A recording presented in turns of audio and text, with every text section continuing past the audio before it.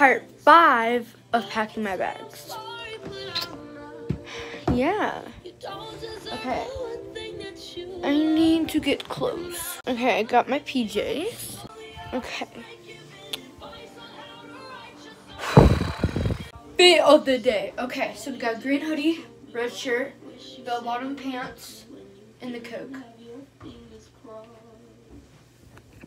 Such a good song.